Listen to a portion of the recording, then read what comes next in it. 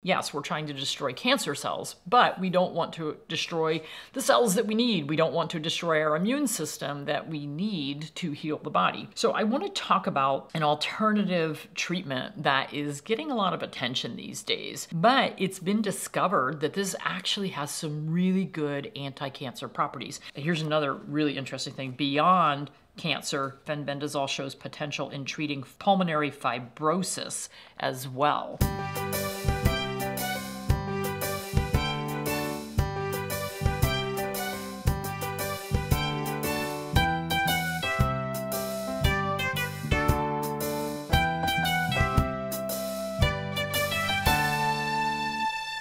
Hello, everyone. I'm Dr. Judy Morgan, and today we're going to cover a topic that is so scary for everyone, and that's the big C. Cancer is affecting more and more and more humans and animals. And frankly, we haven't made great strides in treatment. We'd like to think we are, but when we look at the statistics of the number of people dying from cancer, the number of dogs and cats dying from cancer every year, we're not making great strides. So there are a lot of alternative treatments. Obviously, I am into integrative medicine and I like to look at alternative treatments as well as traditional treatments. And I'm really not a big fan of the slash burn, destroy, cells in our body, yes, we're trying to destroy cancer cells, but we don't want to destroy the cells that we need. We don't want to destroy our immune system that we need to heal the body. So I want to talk about an alternative treatment that is getting a lot of attention these days. And it all started with a man by the name of Joe Tippins in England quite a few years back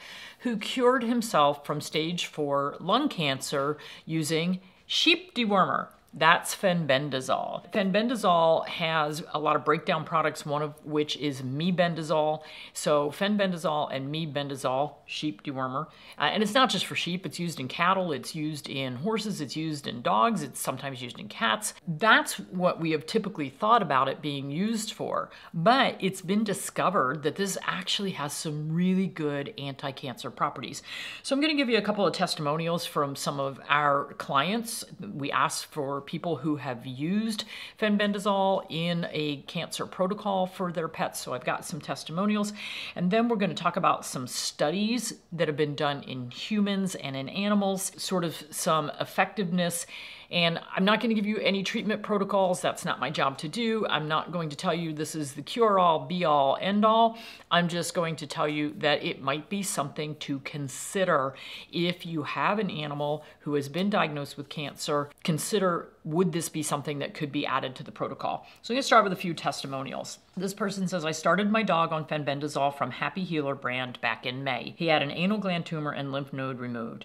At the time, it was questionable as to if there was possible spread to the lungs, but unknown. In September, x rays did show nodules in the lungs, so that was from May to September, but he's had zero signs of anything wrong until recently. So now we're in February, so we're almost a year in.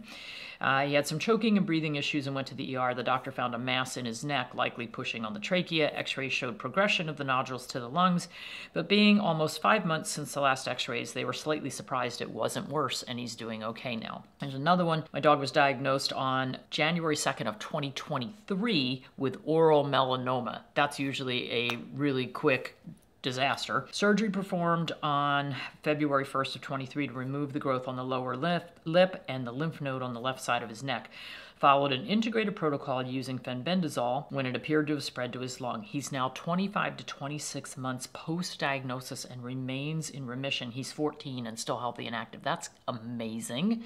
His oral melanoma, my mother's dog died of that uh, two dogs ago. This one says My Great Dane in August of 23 had a tumor on the roof of his mouth. Conventional veterinary said nothing could be done and go home and love on him as much as you can because, in her opinion, these types of tumors in the mouth grow fast. That day, I reached out to a holistic veterinarian and was able to get him seen the next day. She put him on Chinese herbs, fenbendazole, and chaga mushrooms. I was already transitioning to fresh, lightly cooked food. She said to stop adding kibble and go all fresh. Yay. He also has had uh, weekly acupuncture and Yunnan Baiyao for an episode of bleeding. Throughout the next several months, we saw this tumor shrinking. I took photos to document it. About four months later, the tumor resolved and has not returned. He was also on Renovite with CBD and CBD Dog Health Horse Ease. Amazing. We haven't been able to find good studies in dogs, but Dr. Doug English, an Australian veterinarian, has been collecting animal cancer cases to research, evaluate, and track the health progress of animals on his turmeric dog bites. So, curcumin is uh, another herb, it's found in turmeric, that is widely used to help treat cancer. This is a um, study called Anti Cancer Research from 2024 and the title is Oral Fenbendazole for Cancer Therapy in Humans and Animals. Given the low cost of fenbendazole, its high safety profile, accessibility, and unique anti-proliferative activities, fenbendazole would be the preferred benzimidazole, that's the group of compounds, to treat cancer. And what it does is it inhibits glycolysis, which is an energy pattern in the body, downregulates sugar glucose uptake. So sugar brings sugar down. We know that cancer cells feed on sugar and induces oxidative stress enhance apoptosis which is the bursting of cancer cells. However it is fairly poorly absorbed. One of the things that we found in one study it says that if it is given along with olive oil which is high in oleic acid that helps with the absorption. So it'd be a good idea to pair the two together which is easy to do with our animals because we could throw that tablespoon of olive oil into their food as well as the fenbendazole at the same time and get better absorption. It's shown good uh, efficacy in cancer cells that are have become resistant to chemotherapy. So here's a study in lung cancer. I think these are uh, human. 50% tumor inhibition induced cell cycle arrest non-small cell lung cancer, significant reduction in number of tumor cell colonies, reduction of tumor size and weight, confirmation of microtubule disruption, and cell cycle arrest. Non-small cell lung cancer, tumor growth inhibition and bursting of the cancer cells, uh, resulting in cancer cell death demonstrated cytotoxicity toward tumor cells, but non toxicity to normal cells. So, this is great. It's selective for the cancer cells. It causes them to rupture, but not the normal cells. Cervical cancer, fenbendazole inhibited tumor colony formation and induced cell rupture and arrest. It was more toxic to HeLa cells, Remember, those are the ones that have been studied for years, uh, and less toxic to normal cells. Colorectal cancer triggered cancer cell bursting. Colorectal cancer, cancer, another study triggered cancer cell rupture. Lymphoma, tumor growth inhibition was higher in mice administered fenbendazole with a vitamin supplemented diet. So this is really interesting. Joe Tippins, his protocol included vitamin E supplements, curcumin, and CBD oil along with the fenbendazole. And there was a couple studies in here where it showed that if the mice had a vitamin supplemented diet, that the fenbendazole was even more effective. Leukemia caused cancer cell rupture. In as little as three days, it caused leukemia cells to convert to granulocytes, which are white blood cells, and induced cell rupture. At 72 hours, fenbendazole exhibited 14.5 fold selectivity in killing the HeLa cells over healthy human bone marrow stem cells.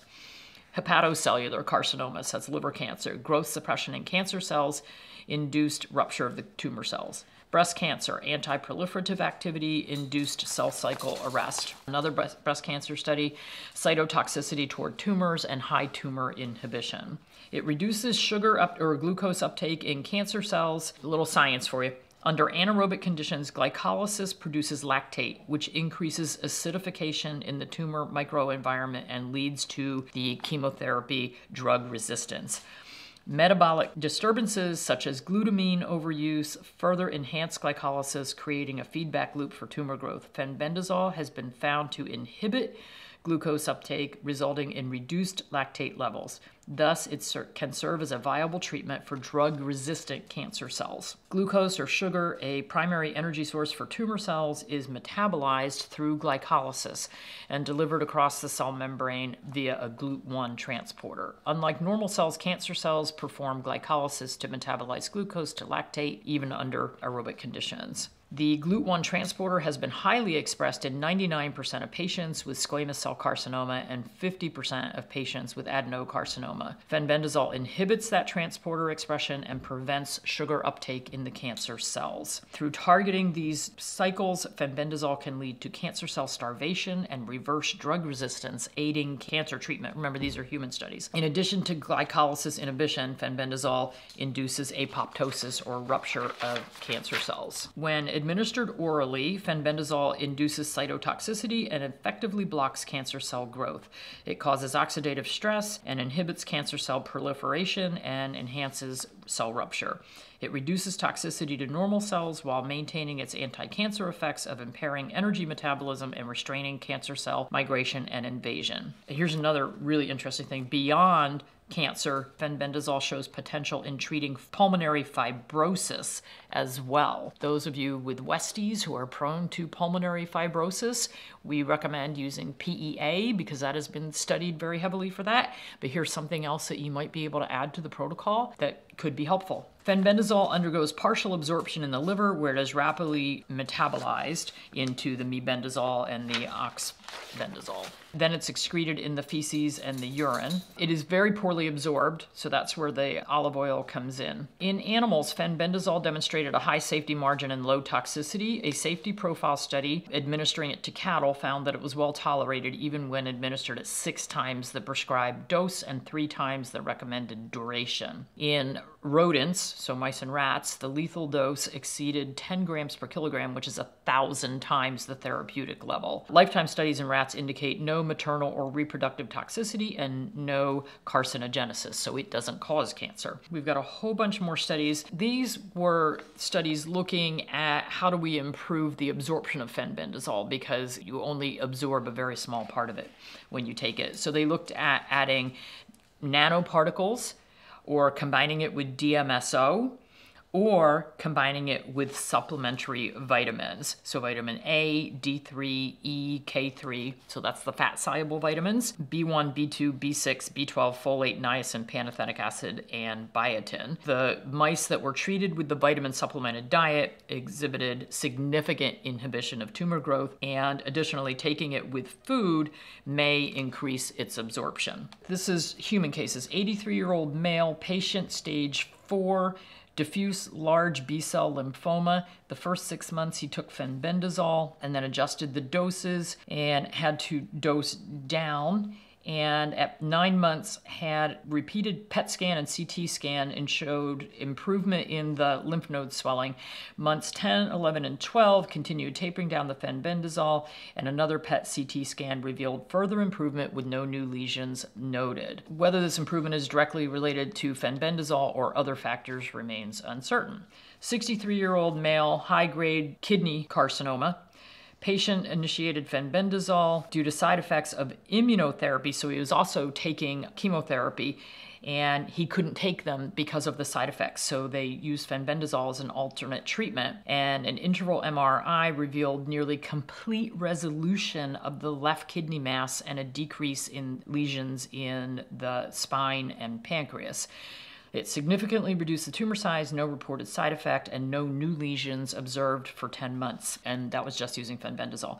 72 year old male, high grade urothelial carcinoma, so that's urinary tract cancer. He started on all kinds of normal treatment, uh, you know, normal uh, chemotherapy, then added fenbendazole and serial CTs for nine months showed a decrease in tumor size achieving a complete radiographic response. 63 year old female, same cancer, started taking all kinds of chemo and then fenbendazole, and it effectively decreased the tumor size. Patient remains on surveillance with no disease progression. Here's a 80 year old uh, female with non small cell lung cancer with brain mets. She developed liver dysfunction on the fenbendazole and had to stop taking it. Despite numerous success stories use, using fenbendazole, Repurposing it for cancer treatment remains non suggested by conventional medical institutions and oncologists. Clinical trials should be funded and performed to promote the possible application as an inexpensive, well characterized, and widely available anti cancer therapeutic in animals and humans. Potential effect of mebendazole, which is one of the metabolites, so they can be used interchangeably. We have studies showing uh, inhibiting cancer cell growth in thyroid, gastrointestinal, breast, prostate, pancreatic, ovarian, colorectal melanoma, head and neck, leukemia, and bile duct cancer, and is non toxic to normal cells. That's a lot, folks. That's really a lot. There's a lot of different places that you can get fenbendazole. I would recommend if if you or a family member or a pet has a cancer diagnosis, ask questions about possibly using fenbendazole, find an integrative doctor, an integrative veterinarian who might be able to help guide you on this path. There are some really good groups on social media with doctors that discuss this. Personally, I think this is amazing. I wish we had known all this information a long time ago. It could have helped some family members, but hey, uh, you don't know what you don't know. So we're just putting information out there for people to be able to investigate a little bit. I got down, started down this line because I'm in that age group where a lot of my friends are having cancer scares and cancer diagnosis, and being who we are and not wanting to use chemotherapy and radiation and major surgeries, and sometimes, you know, going down a path where it, we're told there are no other alternatives. Let's start looking for alternatives because maybe there's something out there that could help. You never know.